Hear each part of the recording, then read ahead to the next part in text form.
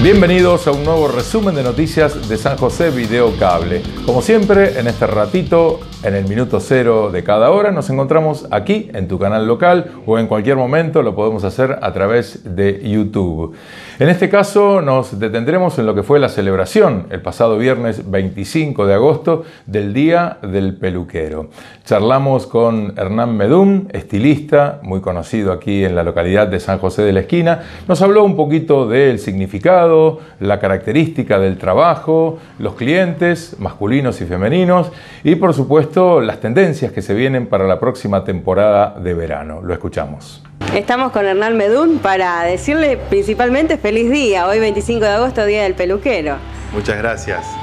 Bien, ¿tienen pensado reunirse? ¿Hay algún festejo que se realice en el día de hoy? Sí, esta noche va a haber una reunión en el hotel, este, bueno, organizada por una, una de nuestras colegas.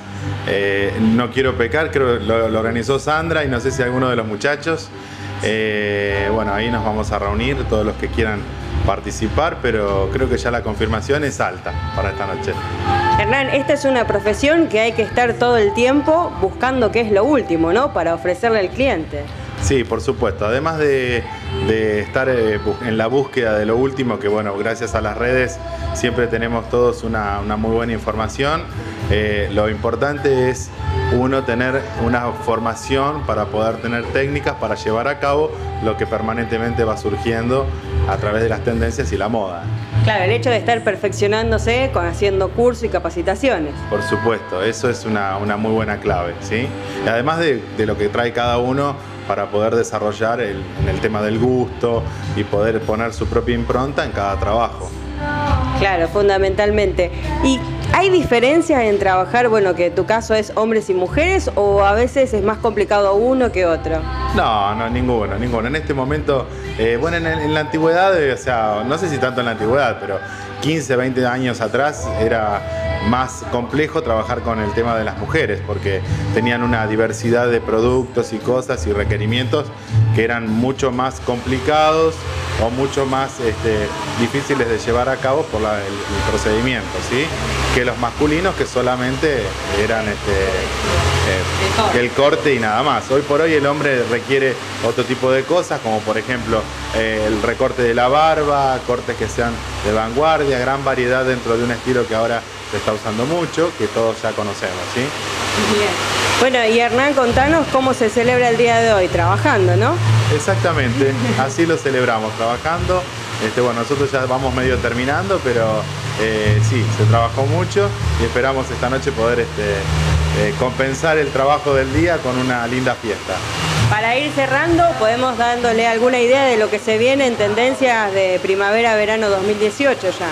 Sí, cómo no. Bueno, en caso de, de los varones, seguimos con las líneas de cortes escuadrados, cortes este, eh, muy eh, rapados a los costados, se llaman desvanecidos, fade.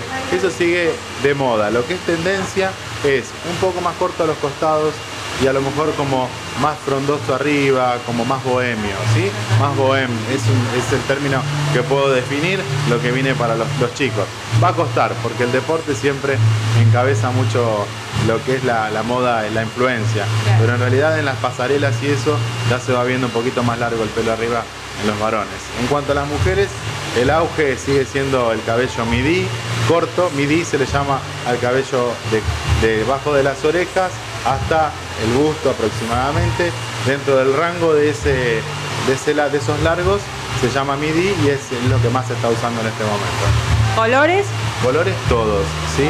Todos. Preferentemente siempre en el verano, eh, históricamente la mujer quiere aclararse un poco, pero los colores se usan todos. Lo que sí por ahí está un poco ya más yéndose son las, las mechas californianas, el desgaste muy bajo. Sí es como que todo eso va subiendo en la paleta de, colores que sea conveniente para cada mujer de acuerdo a su piel y a lo que a lo que a su deseo, ¿sí?